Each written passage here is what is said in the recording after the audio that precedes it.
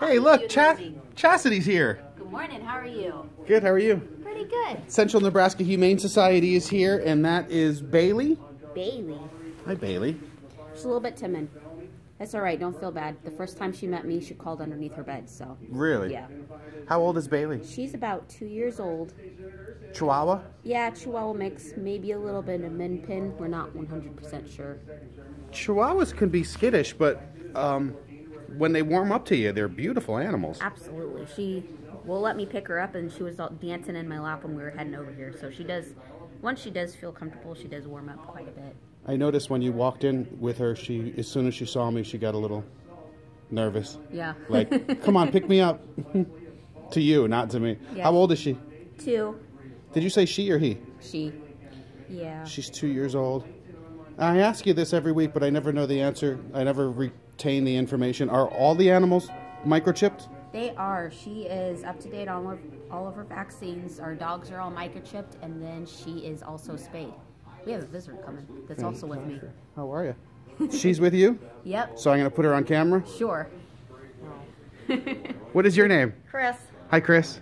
I'm glad you're with her because I'm in a vulnerable position here. Chris, what do you do at the... I'm on the board.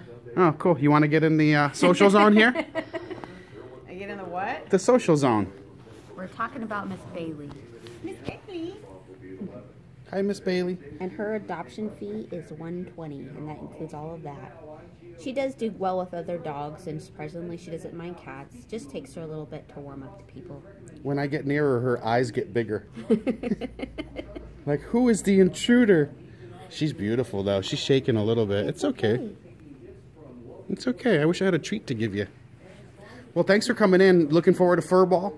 Absolutely. It's next weekend. It's a week from tomorrow, right? It is. At the Riverside Golf Club and uh, in Grand Island. You can get your tickets now.